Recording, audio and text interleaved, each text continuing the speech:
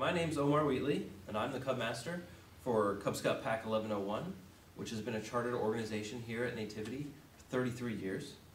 Um, Cub Scouting serves both boys and girls, kindergarten through fifth grade, but also serves our faith and living communities as they grow to serve their communities in character, faith, citizenship, personal fitness, and leadership.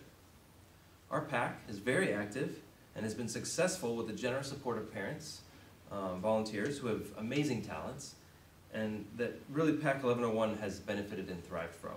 You know, as they say, many hands make light work. In line with Catholic values and the imperative to seek ways to walk with Christ, Pack 1101 conducts community service project annually, um, which we call, which is known as Scouting for Food. And Scouting for Food is a project rooted in the very foundation of the Scouting movement, and its dedicated uh, dedication to implement the Scout slogan of "Do a good turn daily."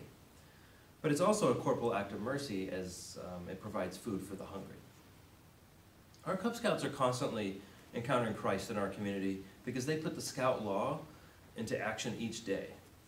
The mission of the Boy Scouts of America is to prepare young people to make ethical and moral choices uh, over their lifetimes by instilling them the values uh, of the Scout oath and law.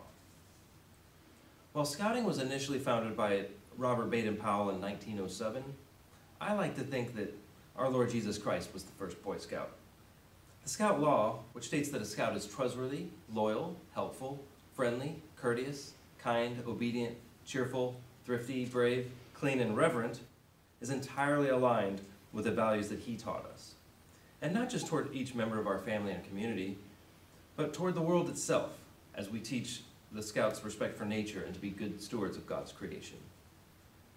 So now that you know a little bit about uh, Cub Scouting and our Cub Scout Pack 1101, I would like to invite every boy and girl, ages K through 5, and their parents, to join us in this scouting adventure.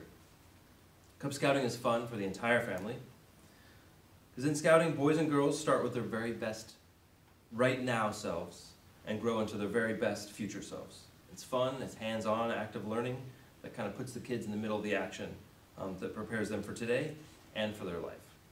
Um, you can find more information of our pack on the ministry uh, uh, Nativity website under Youth Ministries. So please, thanks for watching and hope to see you.